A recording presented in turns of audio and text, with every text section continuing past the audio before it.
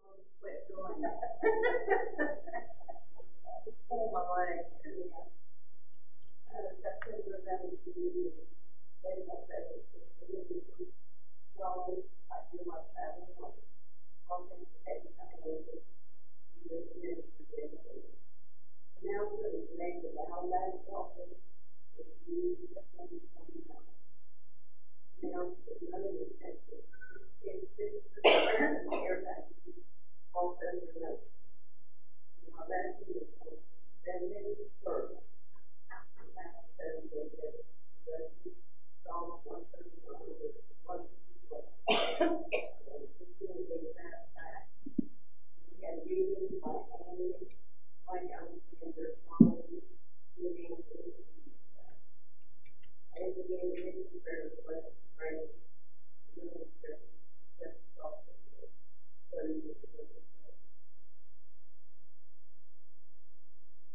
Thank you, Donna. Um, we like to um, go ahead and, and uh, we had forgot to do our alabaster offering last month, so this Sunday we will be taking up alabaster offering. Um, and the NMI books, um, Angie's not here today, but um, don't forget about the NMI books if you'd like to have one. Uh, see her. Um, Pastor Toby also has the CD. You still have the CD, or yeah. If you'd like to to take a CD to listen, just uh, get with him. Um, any other announcements? Yeah, three books.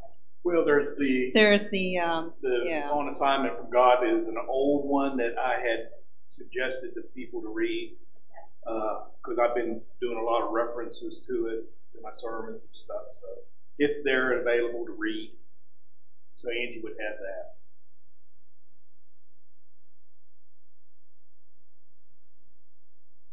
Okay, and there is the ladies' retreat in Elkins that's coming up.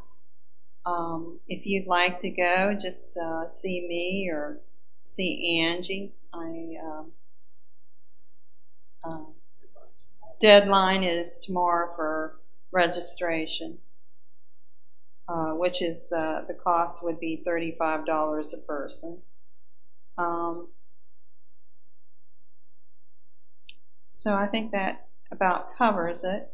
Um, tonight's lesson is on how does a missionary retire? Um, our scripture focus for tonight's lesson is from Acts 20 24. And at this time, we'll go ahead and have Pastor Toby to come and bring tonight's devotion.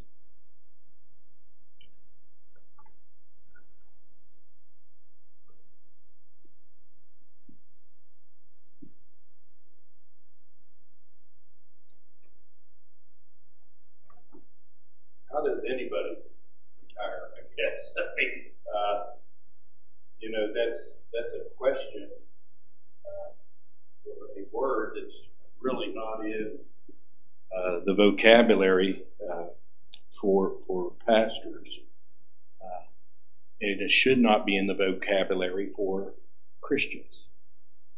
Uh, when it comes about doing God's work, we we we never retire. Uh, we're, we're always about doing the business. And so, how does a missionary retire from full time missionary work? I guess should be the, the, the real question uh, tonight.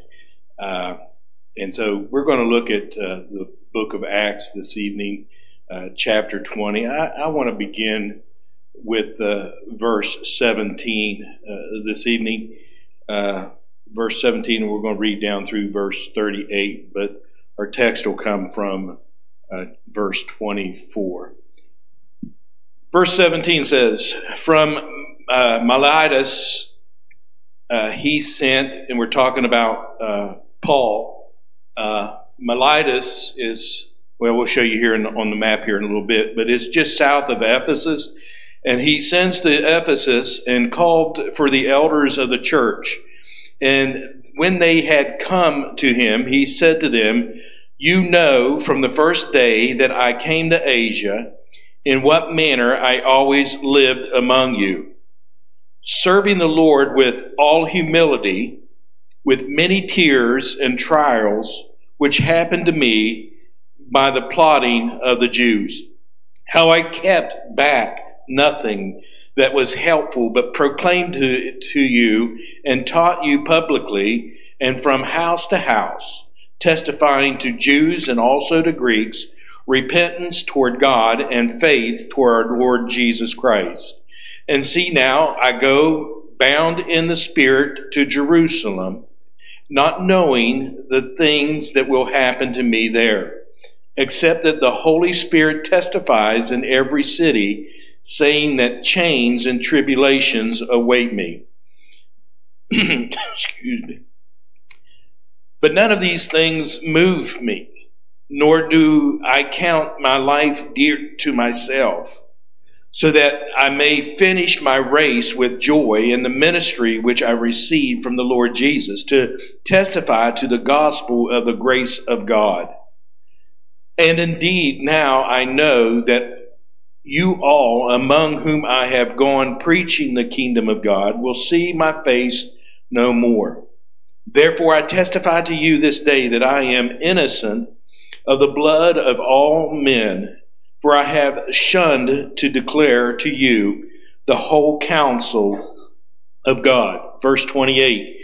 Therefore, take heed to yourselves and to all the flock, among which the Holy Spirit has made you overseers, to shepherd the church of God, which is purchased with his own blood. For I know this, that after my departure, savage wolves will come in among you not sparing the flock.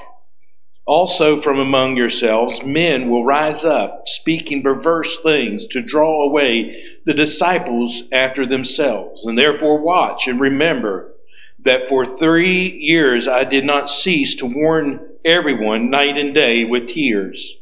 So now, brethren, I commend you to God and to the word of his grace, which is able to build you up and give you an inheritance among all those who are sanctified. I have coveted no one's silver or gold or our field. Yes, you yourselves know that these hands have provided for my necessities and for those who were with me. I have shown you in every way by laboring like this that you must support the weak and remember the word of our Lord Jesus that said, It is more blessed to give than to receive. And when he had said these things, he knelt down and prayed with them all. And then they all wept freely and fell on Paul's neck and kissed him, sorrowing most of all for the words which he spoke, that they would see his face no more. And they accompanied him to the ship. So, verse 17, it says, From Miletus he sent to Ephesus and called for the elders of the church. I've got a map here that uh, really shows you where this is. And I know you probably can't see much on this, but I wanted to show this one first because this shows the three missionary journeys that Paul was on.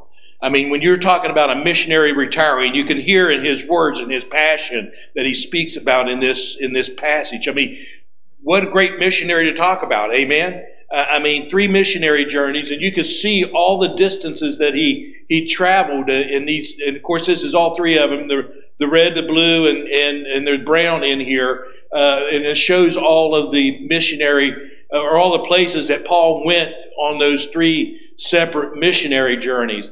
Now, this one, uh, if you will, it's it's this area right here blown up. Okay, and so here's Ephesus, and this is my Miletus. It's it's about twenty to thirty miles uh, south of of Ephesus, And, and so Paul, he begins his, his, his message here. I mean, he's, he's, he's going around and, and things are, I mean, we just, we just seen him uh, in Tarsus here, and, and he preached all night long, and, and it's where the guy fell out of the window and, and, and, and died, and Paul threw himself over him and recovered him and, and, and brought him back to life. But anyhow, Paul is, is here in Miletus. Instead of going back to Ephesus himself, he sends for the elders to come down to where he was at because of all the things that were going on.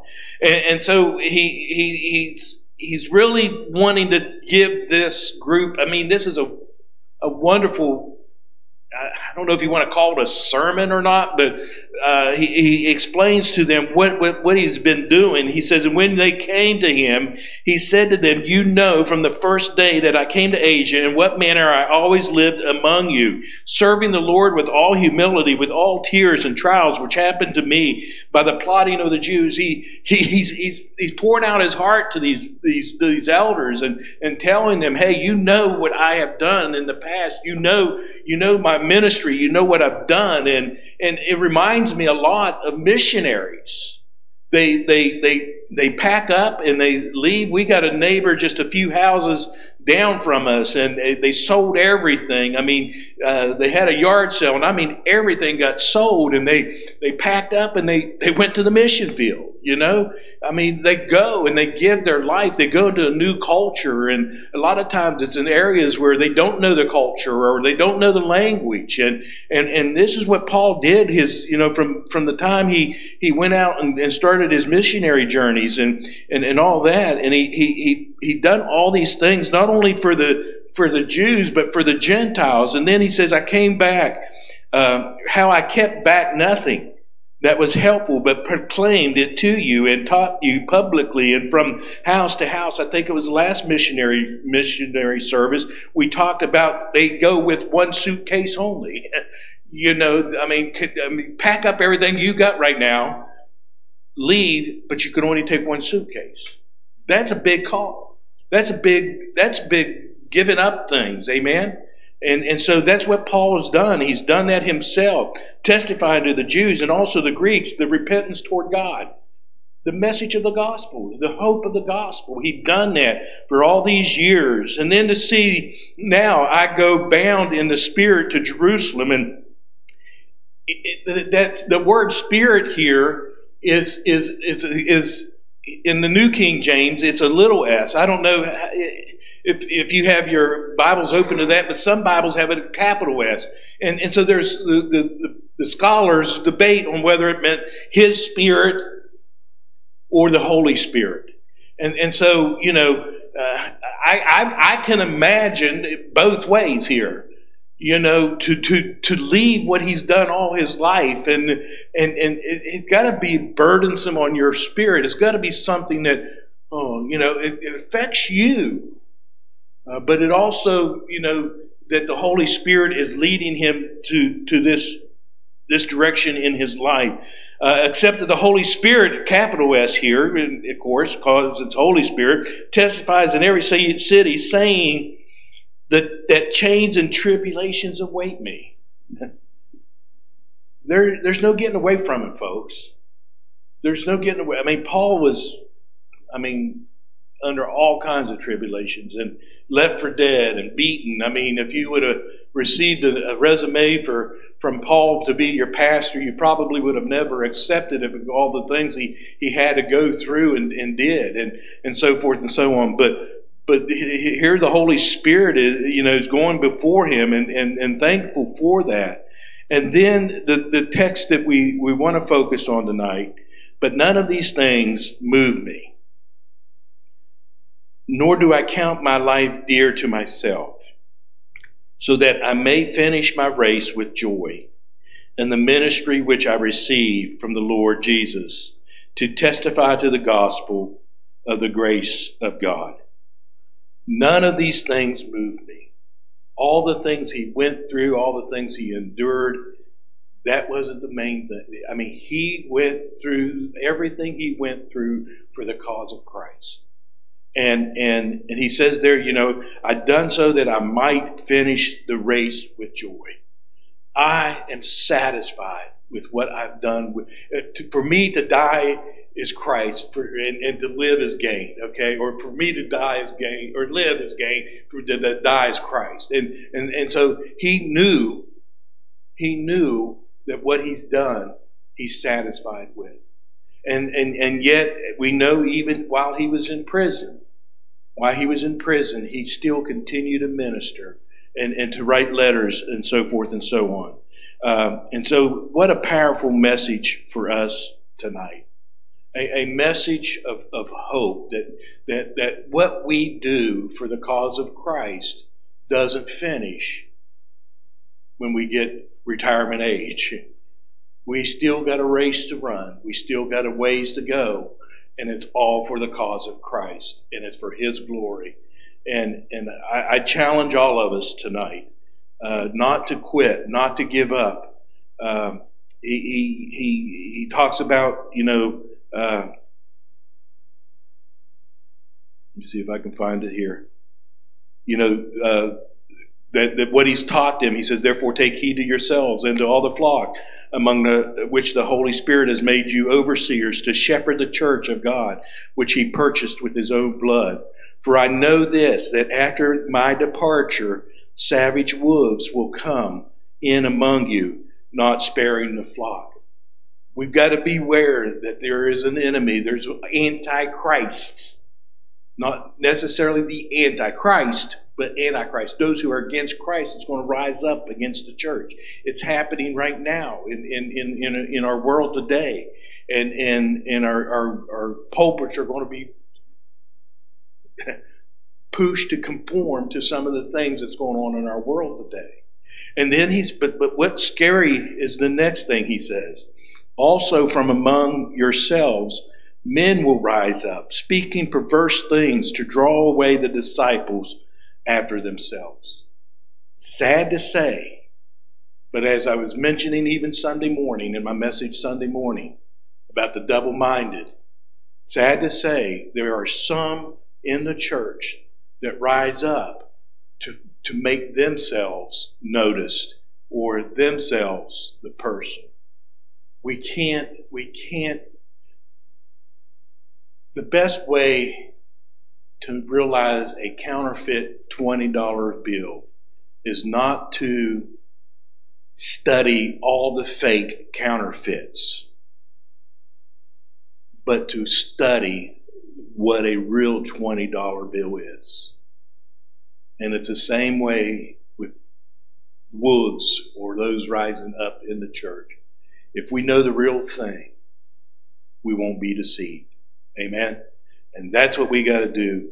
And and back to back to what Paul's saying here. I mean, they gather around him and he prays for them, and and and they weep and they you know it's a sad day. And and in our in our study tonight, we're going to see some of the uh, some of the retirees of our missionaries that have retired, and uh, yet they're still involved in ministry uh, in the in the in their churches. So I want to ask Chrissy to come back up this evening and, and share the rest of her lesson with us.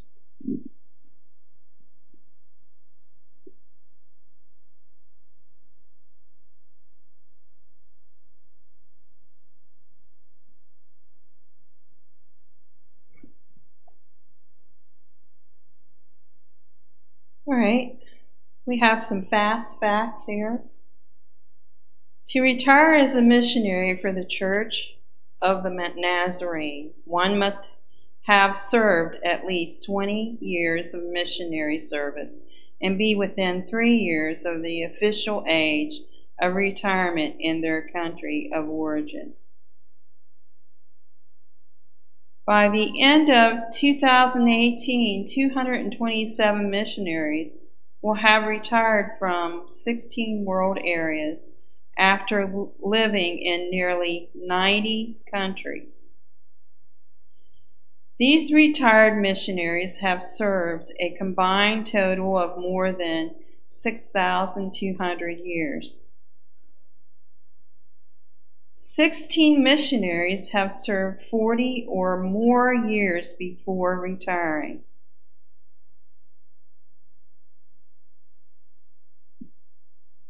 So the following missionaries that are are featured in this lesson. So um,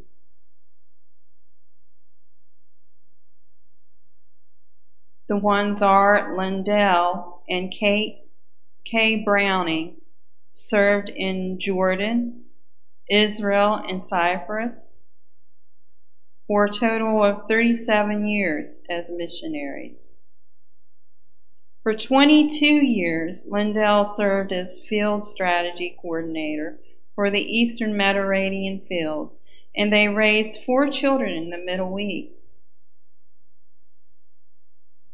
Jim and Kathy Radcliffe served in Papua New Guinea, where Jim was a general surgeon at the Kudjip Nazarene Hospital for three 33 years.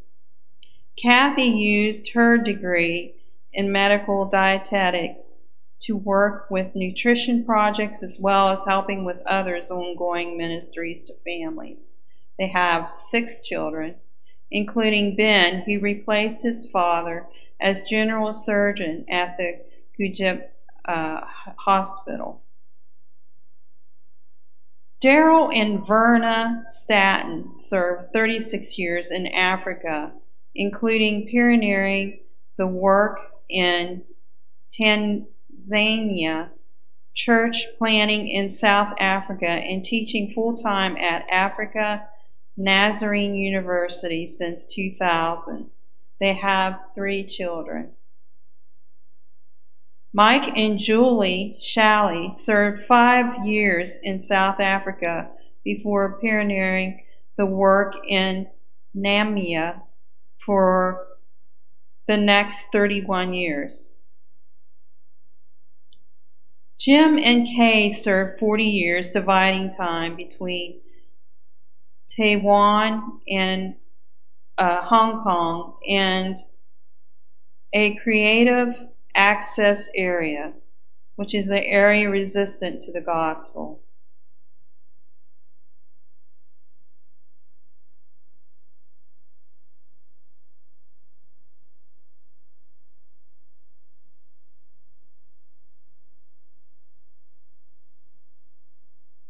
So, we're going to go ahead and get into the lesson this evening. The the lesson writer says each year a new group of Nazarene Global missionaries retires and typically returns to their country of origin. And they pack up collected belongings, but they always leave something behind, a big part of their heart. Retirement for a missionary is a world changing, is world changing, literally and they leave one world where they may have raised family, learned a new culture, developed an appreciation for new traditions, and become a person with a history that has grown them in very specific ways.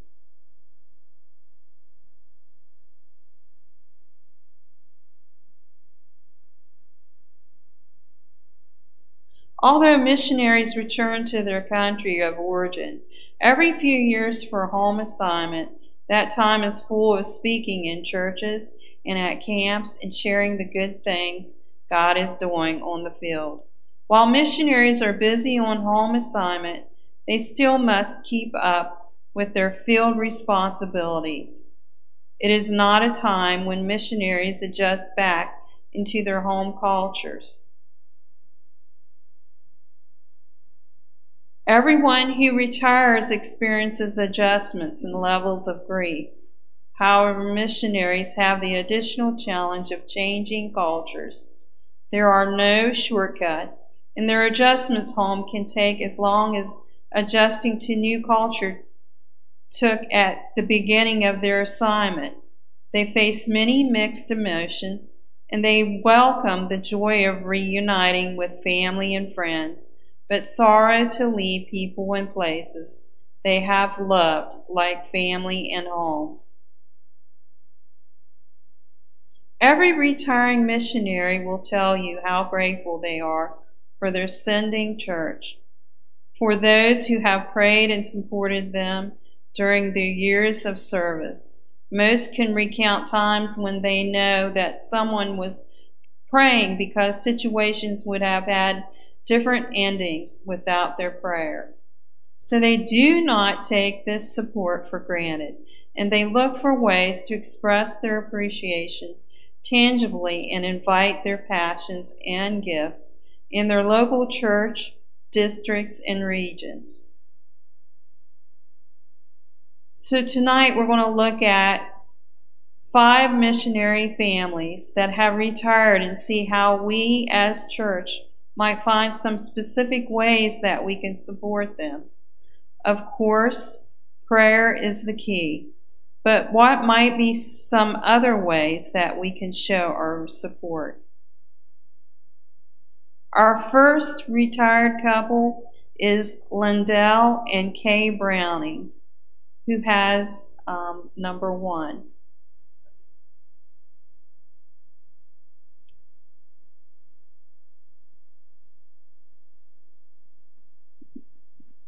About three years before we left, we began to pray.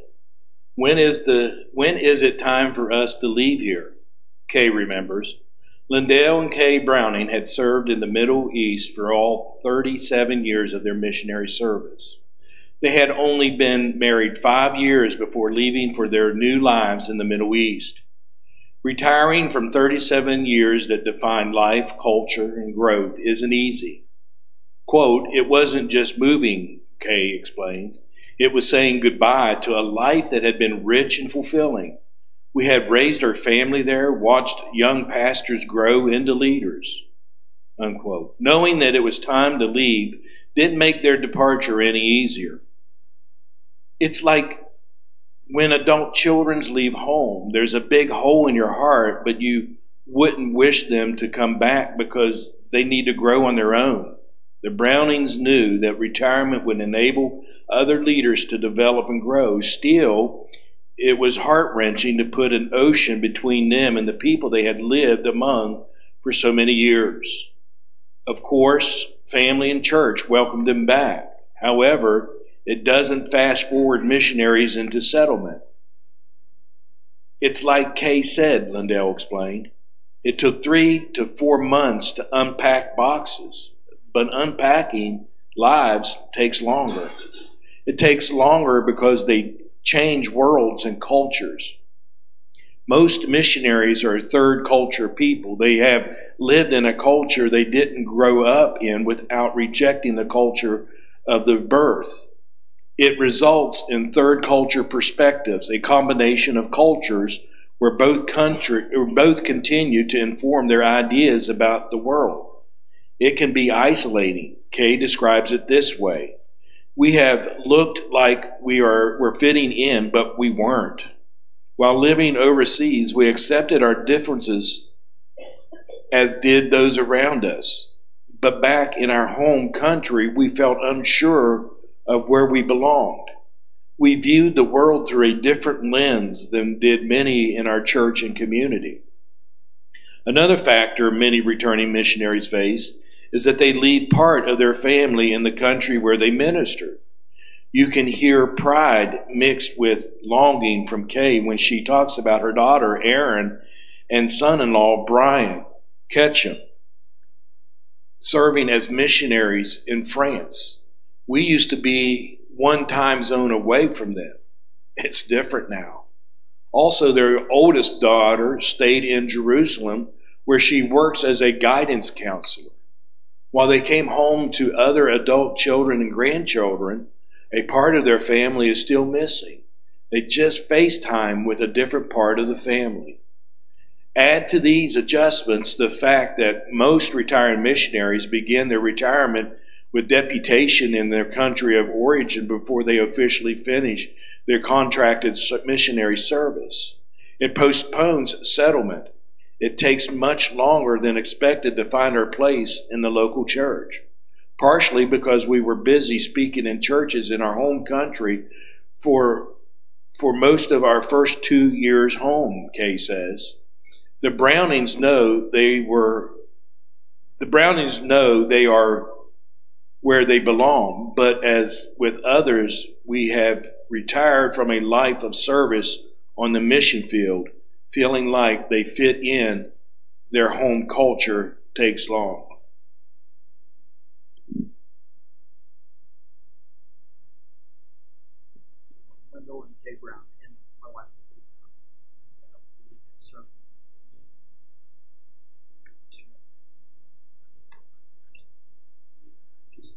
Back to uh, Lebanon and to Jordan and to Israel. And in spite of all the conflicts, I saw our national leaders and our uh, pastors so excited about the harvest that they're that they're already preparing themselves to reap. And uh, it's been exciting to see how our national leadership has developed to this point of them caring and sharing hope with the people who are marginalized, the people who are refugees, the uh, Syrian and Iraqi refugees, and they're really standing strong and not talking about the persecution that may be ahead, but they're talking about the harvest. So it's been real exciting to, to be back in that part of the world during these days. So if you could pray for them for their uh, spiritual, emotional, and physical strength that during their time of ministry, when uh, over uh, millions and millions of refugees have fled to the neighboring countries, and the church is trying to be salt and light to that community, and pray for wisdom for them and opportunities to bring hope and share the good news with people. And uh, they count on your prayers and don't let them down. And remember, when you see the news, think the fact that you have family there and pray for them as you would be praying for your family because they are truly your brothers and sisters in Christ.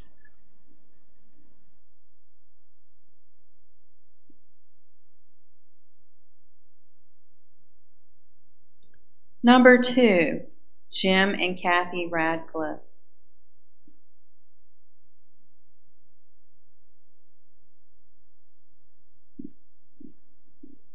Jim and Kathy Radcliffe served as Papua, Papua New Guinea, which is known as PNG, from 1985 to 2018. Jim had just finished his residency as a general surgeon when they packed up and moved across the world. While PNG is a country with an incredible beauty, it has complex challenges that keep a general surgeon busier than he ever wanted to be. The question concerning when he retired was huge, just like it was for the Brownings. We often said that we needed a call from the Lord to leave PNG just as he had called us to go to PNG, Kathy acknowledged. Part of their retirement plan was that Jim would continue as a surgeon in his home country. But this choice also offered a unique transition.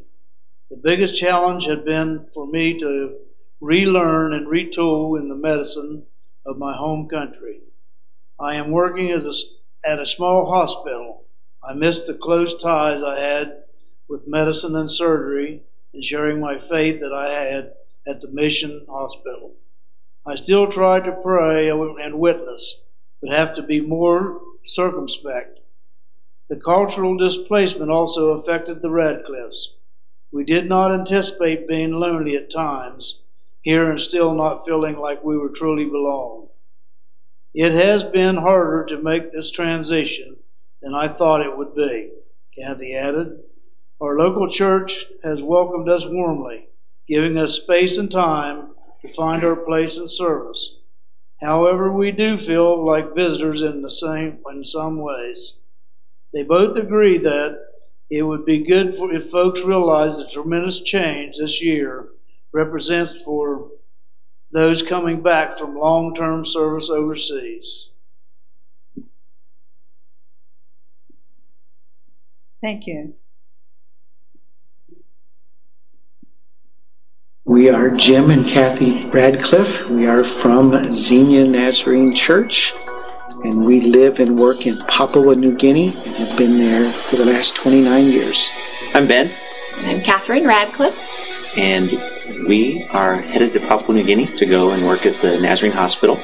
Uh, I grew up over there as a missionary kid. Mainly, I do surgical evangelism, Kathy does a lot of things to support the missionary family and the missionary school. So I trained as a family doctor and I'm currently practicing a little bit here in the States as we prepare to go overseas and serve the Lord. And we're really excited about where the Lord is sending us and where He's taking us and what we're going to get to do when we get there. In high school at a youth camp, God specifically spoke to me about being a missionary, and I just prayed as I read the Gospels and saw Jesus' healing ministry and just prayed, Lord, if this is how you'd like me to serve, would you open the doors? And God opened the doors for medical school and uh, continued to answer prayers so we could be there. Over many years as a child, missionary books, and as a teen, missionary speakers. Just the Lord's, through His Spirit, speaking to me to go to another country, and then meeting Jim and him having the same calling was a confirmation of that.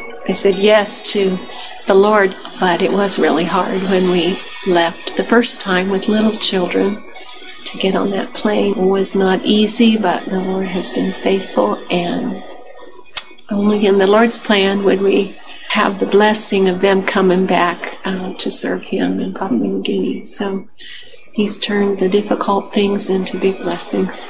Uh, the best experience so far has been the way that the Lord has shown us His call for us and letting us know that our lives are not uh, for us alone, that uh, the gifts of a family and education are things that He has given us to use for His glory. Ministering to patients and being able to connect with patients at such a vulnerable place in their lives and having the opportunity to share Christ with them, to be light in the darkness, is such a gift um, and a privilege, really. One of the best experiences in my missionary career was being a part of a revival where men from the local village came to know Christ, and then and I got four guys from the village to disciple each week that came to my home and just got to see them grow in their faith and to see the transformational power of the gospel up close.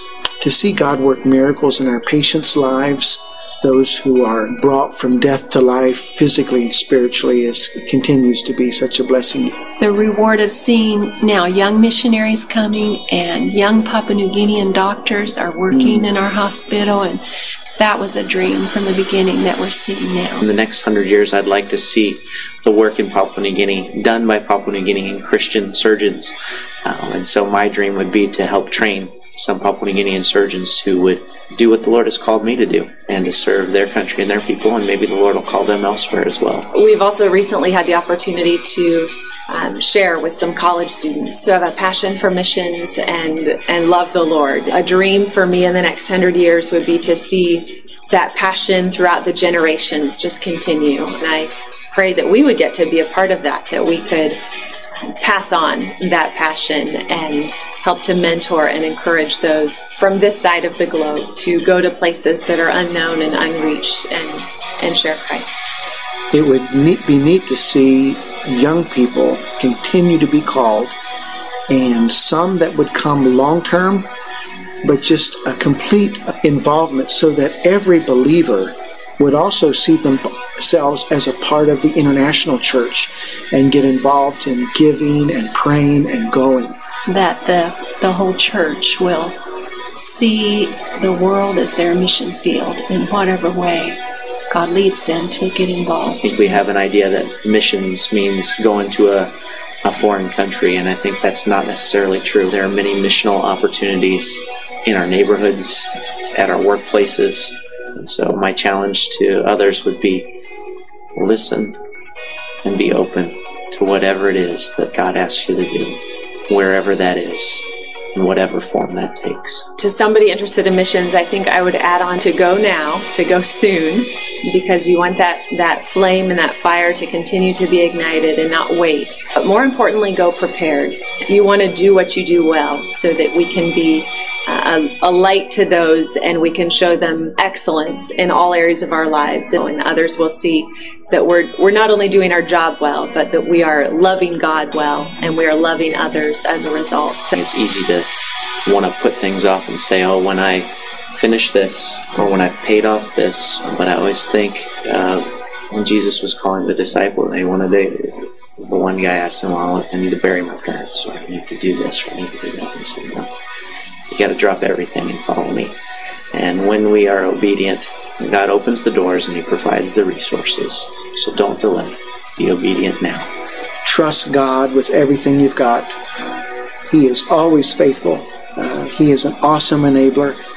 He will answer prayer. You can trust His adequate power to enable you to do what He calls you to do. It's a great journey trusting Jesus. He, if He calls, He equips, and He is able to guide. He guides from every realm on, all around our lives. And just know that as God calls, just step at a time, He will lead.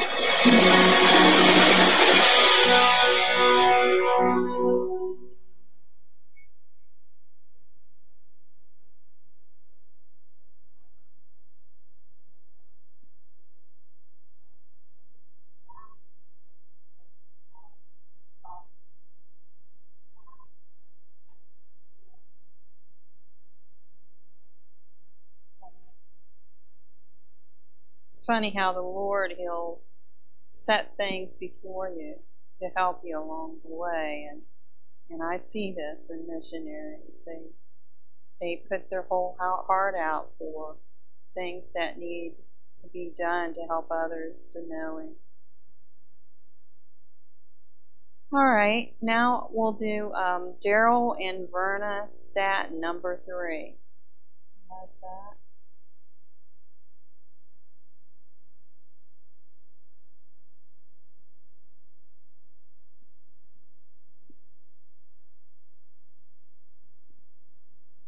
Daryl and Verna Stanton. They went to Africa in 1982 as missionaries with a four year old son and a two year old daughter. While a second daughter was born in Africa, they served in Zambia, South Africa, Tanzania, and had been full time teaching at the African Nazarene University in Kenya since 2000. The biggest shock that they faced as they retired was the high cost of living in their home country. We wonder how well retirement benefits from the government and from our Nazarene pension would meet our retirement needs. They aren't alone. When missionaries return from living in places with low cost of living to places of a higher cost of living, it could make adjustments more difficult. Many are used to simple lifestyles. However, sim- simple doesn't always pay the bills, especially when health care is involved. Where to live was another big challenge for the Stantons. All of their three grown children and their and my dad would like us to live near them, but they are all far apart. Fortunately, the Stantons had housing through the generosity of Bethany, Oklahoma, USA First, Naz- First Church during their year of dep- deputation and a couple of months beyond. Their question about their next step were answered before their last month was finished at Bethany. Daryl had been hired as a SDMI Global Resource Coordinator at the Global Missionary Center, GMC, in Lenexa, Kansas. They had purchased a townhouse and lived near their daughter and son in law and only grandson. God rewarded our patience and has blessed us.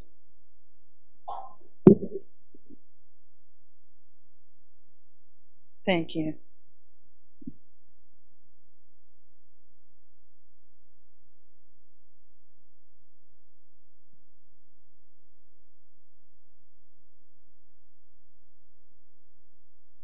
I'm Dr. Daryl Stanton.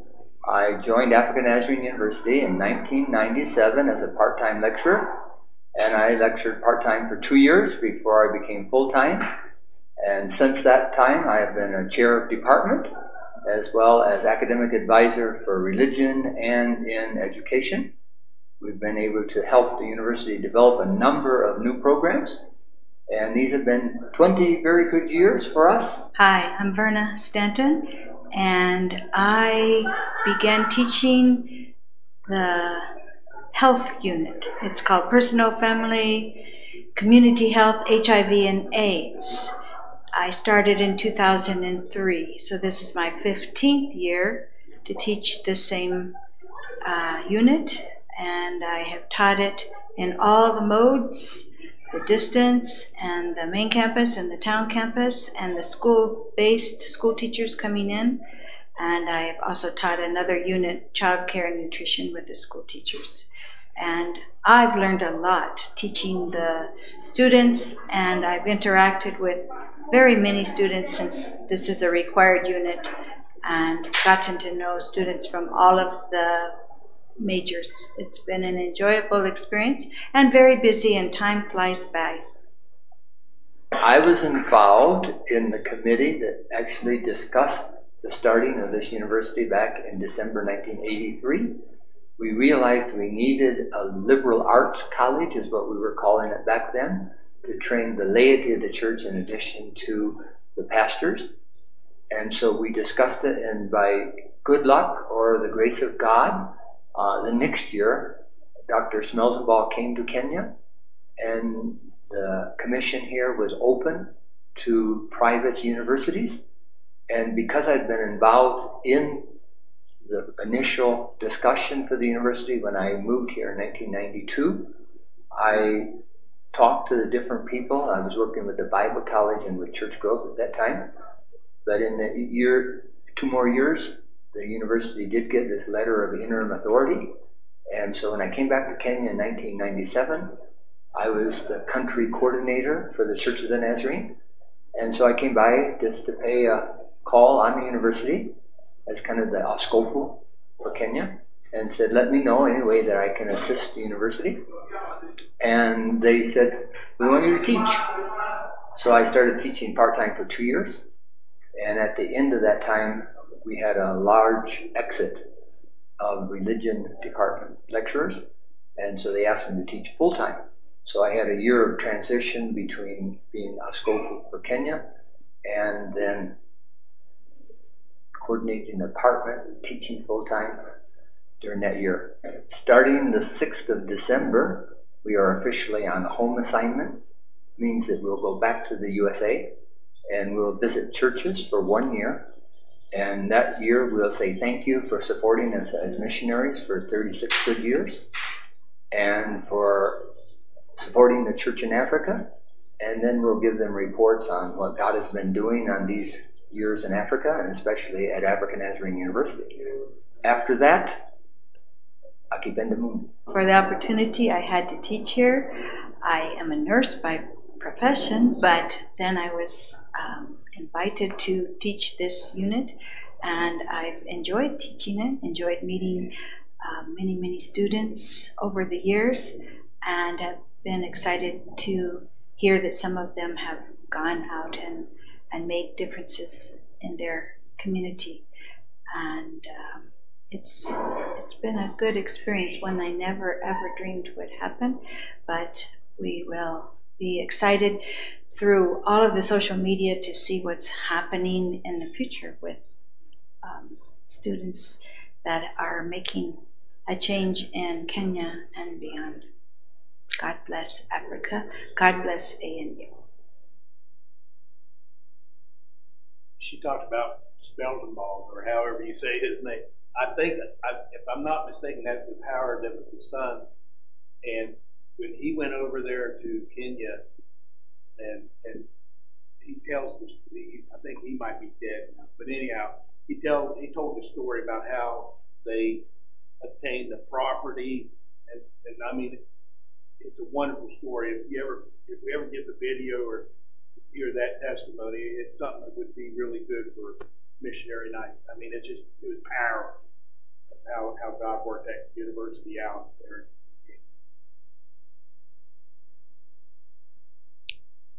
All right. Mike and Julie Shalley experience. Four.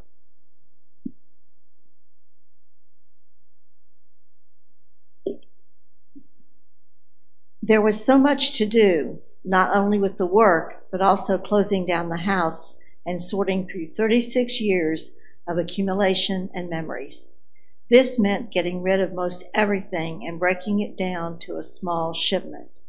Those are the Julie are Julie Shalley's words about getting ready to retire from serving as the only missionaries in Namibia since 1984. They also faced a culture shock in returning to their home country. Just trying to understand the government regulations regarding retirement benefits from the government was overwhelming. And where do you settle after 36 years out of the country? That was a big question. The Shalleys also found that the church had changed drastically. They didn't know the songs, the structure of worship.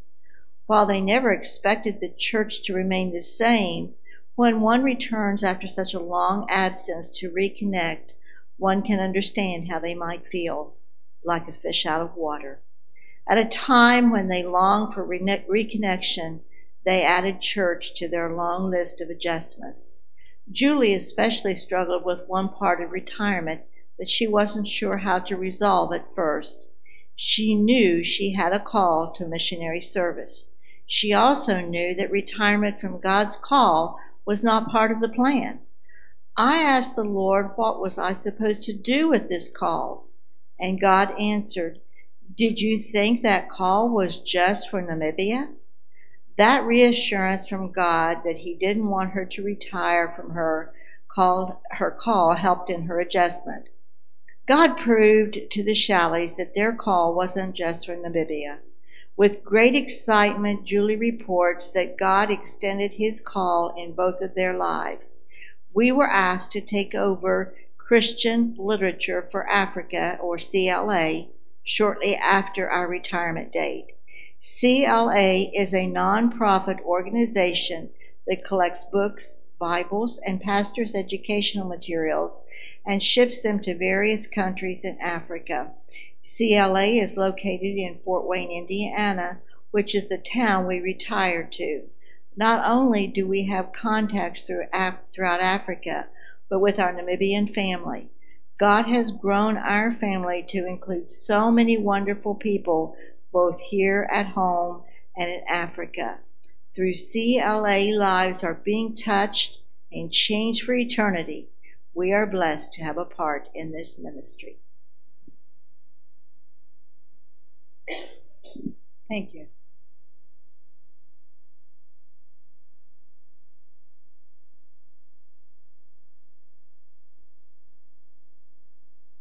Number five the Jim and Kay experience.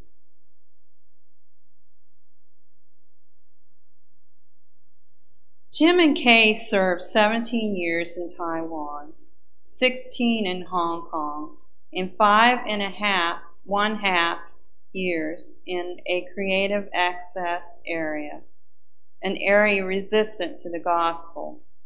As they approached retirement, they didn't want to face it unprepared.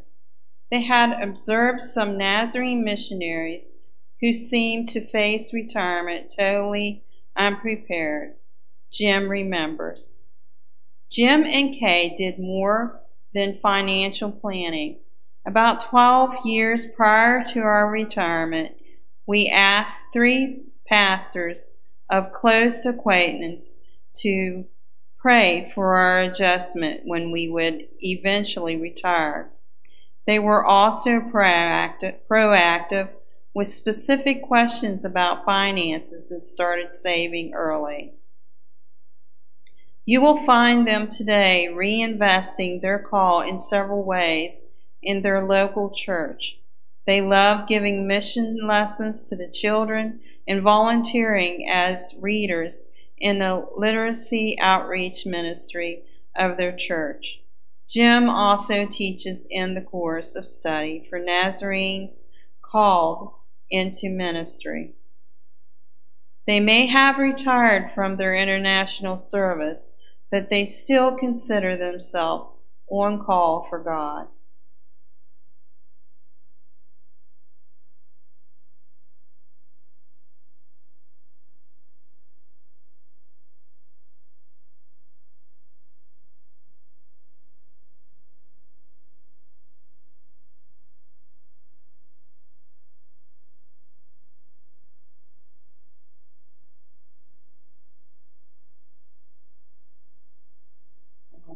Place I lost my place.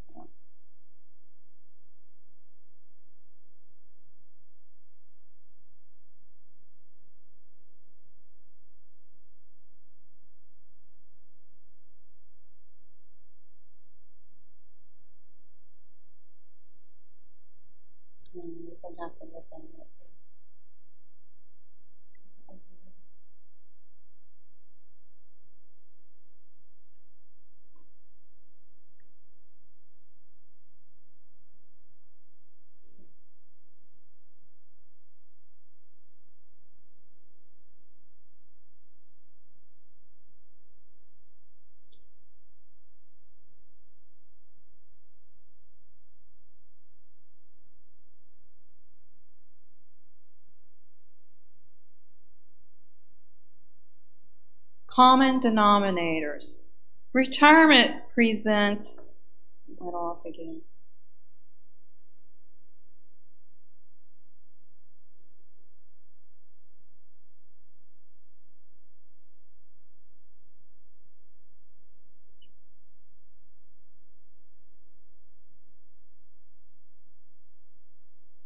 Retirement presents many changes for missionaries, including departure from their country of service and return to a place they once called home. It creates displacement, adjustment, and sometimes feelings of isolation. But it also presents new opportunities to minister in their home country, using their understanding to other cultures to advance the kingdom of God. It allows them to reconnect with family and friends from whom they've been separated for so long, and it provides opportunity to encourage the church who sent them out in missions many years before. These connections become a source of blessings to both the retiring missionaries and the church.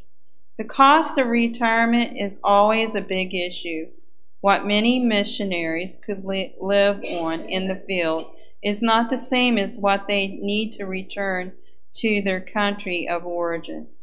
They join an aging population needing medical care, which also comes at a high cost in many contexts.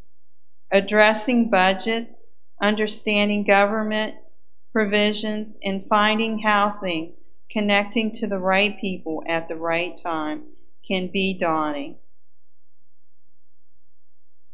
Retirement for missionary, missionaries bring pluses and losses, and the work they gave their heart to in their country of service may change as others step, others step into their places of service. And of course, they will give their heart to new work in the countries to which they return. They leave people who grew in their hearts to return to family and friends who missed easy connections with them. Missionaries usually understand that there will always be unknowns in following God's will and timing. They have practiced trust as a part of their obedience, and they can teach us vulnerable lessons about adjusting to the unexpected. So then, how can we help?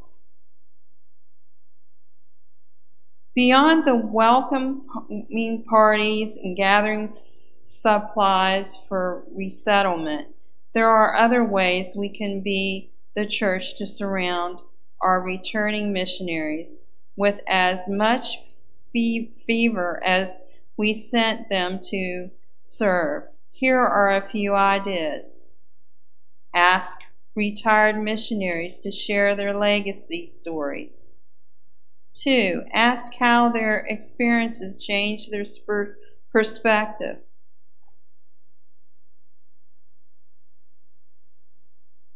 Ask them to teach you a skill they learned.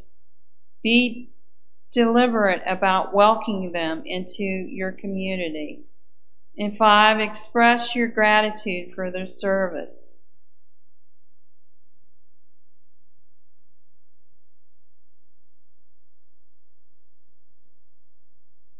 Six, enlist retired missionaries to help.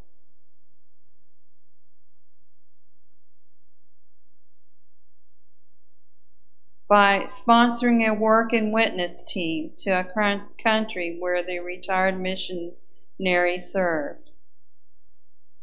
Sponsor a child through Nazarene Compassionate Ministries. And invite missionaries to your church district who are serving where your retired missionaries served. Use missionaries' unique understanding of a world area or people group to connect to people from that area in your community and district. Give to missionary support accounts.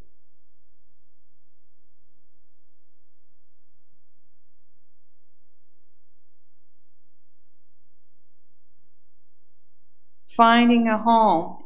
We're all we've all heard that home is where your heart is. And missionaries will always have more than one home. However, we should do whatever we can to give their hearts a new place to call home when they retire.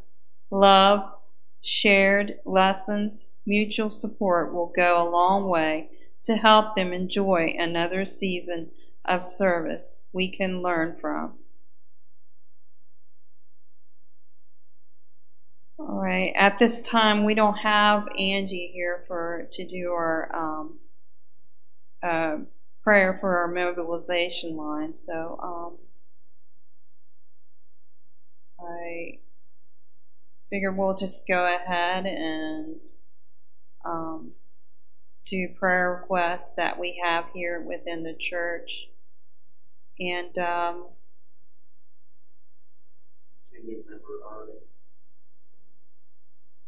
situation here the other day. Released the same day. But that, that's painful.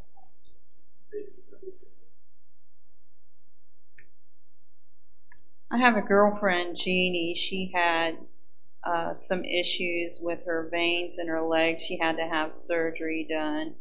Um, need to remember her she, I think, is still in the hospital. Okay. Anybody else? Colleen?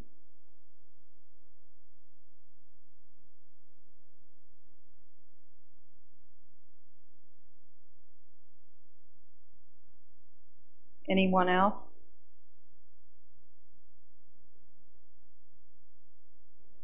Randy? I've got I've got that prayer mobilization. It, uh, here's a few of them. Uh, Amber and Marcia Bastia serving in the Philippines. Please pray for Amber and Marcia as they speak in churches prior to going to the Philippines. Also request pray for the uh, family as they transition to serve in the Philippines. And then Astrid and Joan Camagaro, serving in Paraguay. Uh, please join the Karamikos in prayer for their planning of 14 churches by December 2020 and for new leaders established to, to establish those churches. Also, Astrid and Young would like to see revival by God in the current churches as they will be dynamic, passionate for Christ and evangelists to their neighbors. Also, please pray for for them as they uh, will be healthy and strong in their service to the Lord. And then John and, and Niramo, Yule serving in Uganda. John and Niramo ask for prayer as they extend holiness message to people groups around them, and that those groups will reach neighboring countries as well. Pray for the development disciples who will make disciples. Pray for the churches to welcome refugees and immigrants and integrate them into their communities of faith. Uh, and also the Yules request prayer for strong district of passion for the mission of, of making Christ-like disciples. Um, let's not forget too the new link missionaries that we have, um, those Swatskis uh, in Eurasia. Remember them. How about we join together in a circle and I'll have Pastor Toby uh, do the prayer.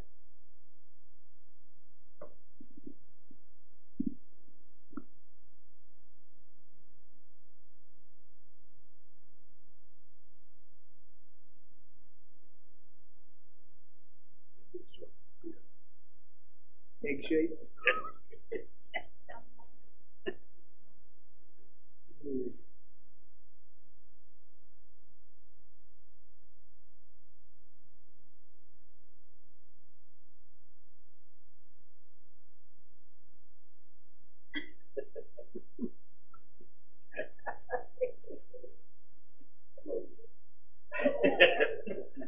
Well, Father, we, we thank you. how you watch over each and every one of us. As we, as we just praise you, Lord, we know that there's nothing that takes you back from us. You are the creator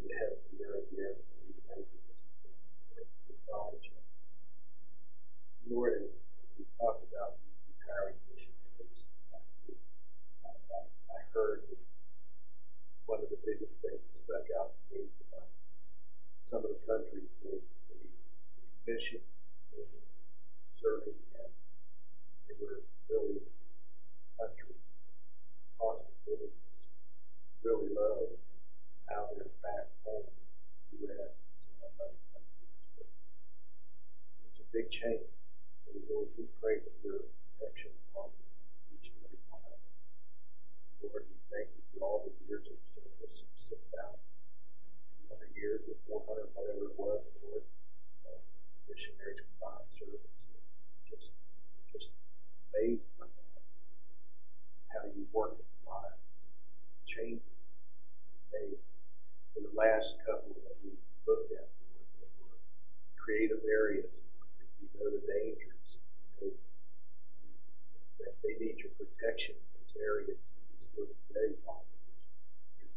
fish.